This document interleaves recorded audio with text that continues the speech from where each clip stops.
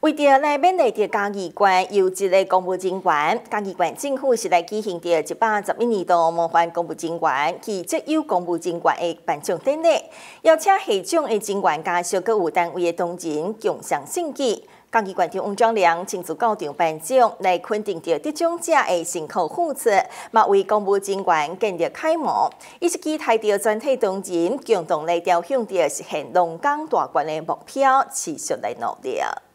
一百十一年度该县政府模范公务人员以及职优公务人员各六名，服务职优人员两名。迄种人员的名单是：行政院暨嘉义县模范公务人员是消防局分队长陈维铁；嘉义县模范公务人员经济发展处科长林正元；水利处基层王义强；农业处科长张安杰；财政税务局科长陈佩如；六甲乡公所主任王淑芳；嘉义县职优公务人员地政处科长。卢淑琴、警察局分队长洪国全、文化观光局科长张世杰、社会局高级社会工作师蔡英山、民雄乡公所队长陈英杰、德吉乡公所科长吴俊贤、该一关服务职优人员是人事处洪玲平、主计处蔡嘉义。那么多，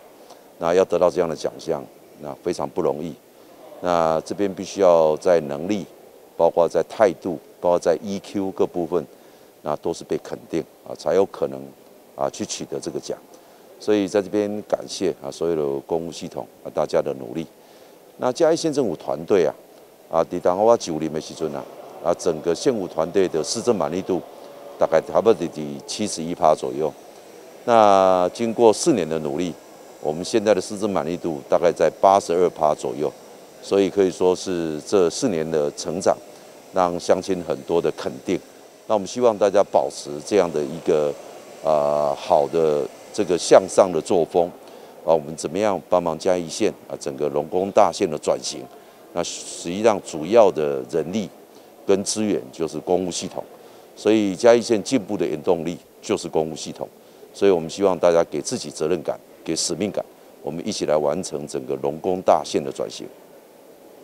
县长温庄良亲自莅临颁奖，表示肯定得奖者的辛劳付出，也为所有同仁徛立楷模，并鼓励期许全体同仁共同朝向实现龙岗大观的目标，持续努力。新新闻张来新嘉义县采访报道。